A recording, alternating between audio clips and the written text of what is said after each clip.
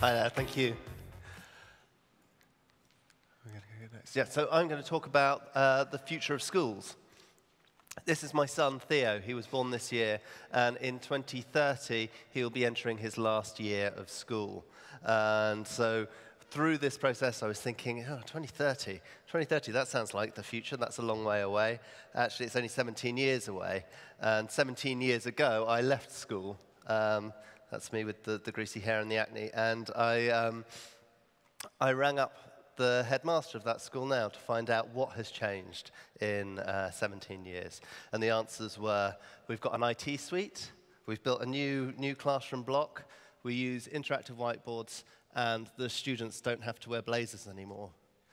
There's not a great deal of change there for the actual pupils. Um, so, thinking in terms of three seats of government, I'm not anticipating the uh, holodecks, jetpacks, and uh, hoverboards that I was kind of hoping for for Theo. Um, instead, I've got 10, 10 trends that I think might have an impact on schools in the future. And the first is that uh, all students will have an internet-enabled device. Um, I think this is not necessarily going to be led by school, it'll probably be led by the home market, but uh, the adoption rate of iPads and tablets is so fast that I think it's going to be highly unlikely that children are taking books into classrooms, they will be taking in tablets. Second is that to cope with that, schools will have to have adequate Wi-Fi, and I say adequate, not good. Um, you know, we're only talking uh, 17 years in the future, and at the moment, schools have got the bare minimum of Wi-Fi and, and, internet access. We work with a lot of people that go into schools, particularly primary schools, where they can't get online with more than 10 students at once, uh, and that's very limiting.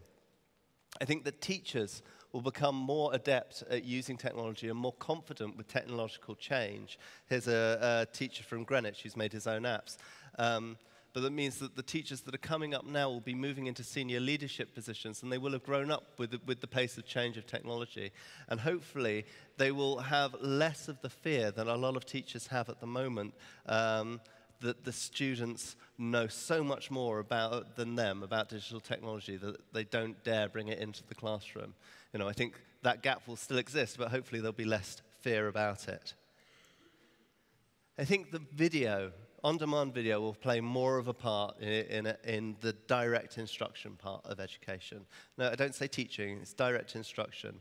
Um, we've got the growth of massively online courses, the Khan Academy, uh, video and e-books, but I think that what we're going to see there is that um, teachers spend less time broadcasting in the classroom and more time working one-to-one with students, leaving the, uh, the explanatory direct instruction part of the classroom to online videos.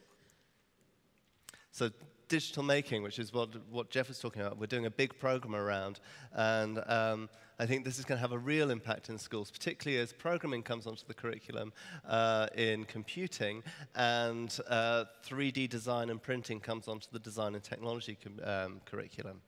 What we're going to see is that the nature of schools' projects will change. Children will be able to make many much more complicated things with uh, the proliferation of cheap micro computers like Raspberry Pi and uh, 3D printers, which are coming down in price a great deal. So some of the projects you can see on the screen here are 3D printed shoes that a design student has built, or um, one of the projects that we're working with is Printcraft, where using the Minecraft game, students can design anything they wish and print it out in a 3D way. Games. It's almost trite to say it now, but games will become a bigger part of education. Um, and we're having a games-based learning event at Nesta on 21st of October if anyone wants to come. Uh, but the, um, the reason I say this is because um, browser-based games will increase in number, and so a lot of the uh, barriers to getting games onto the curriculum will reduce assessment. Assessment is ripe for disruption. So we're going to see more adaptive technologies, learning how you learn and being able to give real-time data on that. And we're going to find different ways of accrediting attainment. So like the Open Badges campaign from Mozilla. Big data is going to be generated by these different forms of assessment. And that's going to change the way we understand how learning and teaching works. And um, one of the things we think with, with data is that you'll be able to uh, diagnose difficulties with learning at an earlier stage and also cross-match that to things that have worked before. I've spoken to a guy in the States who has a simple quiz app that's in, a million, in the hands of a million students, and he says he can diagnose dyslexia quicker than any of the teachers he talks to just by the way they interact with his program. By 2030, we will see the first virtual school in the UK. In the US, already there are 200,000 um, students attending virtual online schools. And this is a mixture of video and coursework, um, but we might see 3D locations as well. And finally, going back to the assessment thing, we will see fewer exams. The idea that um, a three hour test of um, you know, memory power is going to be a rigorous examination of, of your educational attainment will disappear. It will see hopelessly outdated as we can get real-time data from what you've achieved and we can uh, use different forms of assessment to measure different kinds of learning. That's 10 trends. Thank you very much.